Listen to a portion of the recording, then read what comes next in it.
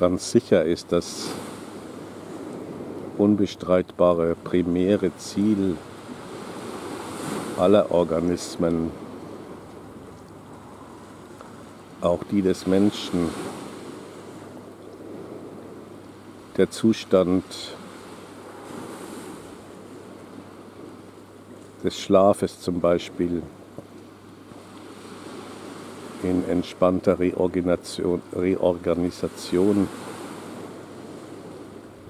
in der er nur noch der eigenen Organlust gewärtig ist oder des Atmens, des Pneuma.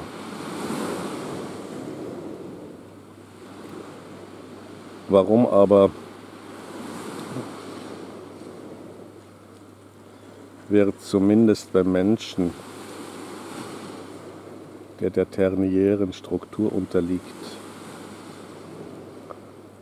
dieses sich selbst ausreichende Genießen unterbrochen.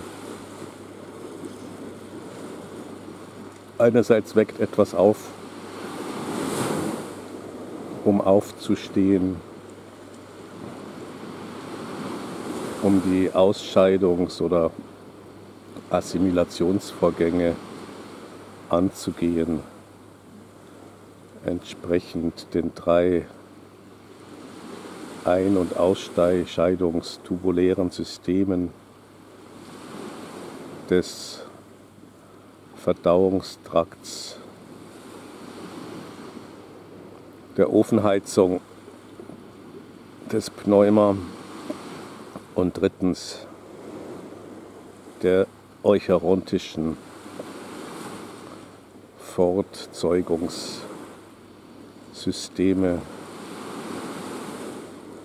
mit ihren ebenfalls Ein- und Ausschleusungs-, Ein- und Ausstülpungsaktionen.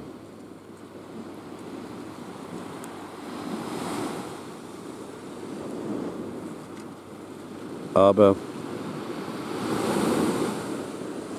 beim Menschen findet noch etwas anderes statt. Das Olinier, die primäre oder die originäre Gewalt der Mutter nennt, das wiederholt wird. Denn bereits beim Tier muss das Kind mit der Außenwelt konfrontiert werden und es wird noch ein paar Wochen oder Monate begleitet, damit es die Techniken zum Überleben abschauen kann, bis es auf eigenen Beinen steht.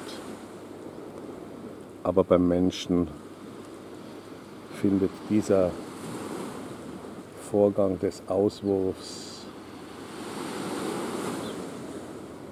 und der kurzzeitigen Kleinkindbetreuung auf völlig andere Weise statt, da hier das Begehren ins Spiel kommt. Punkt, Punkt, Punkt.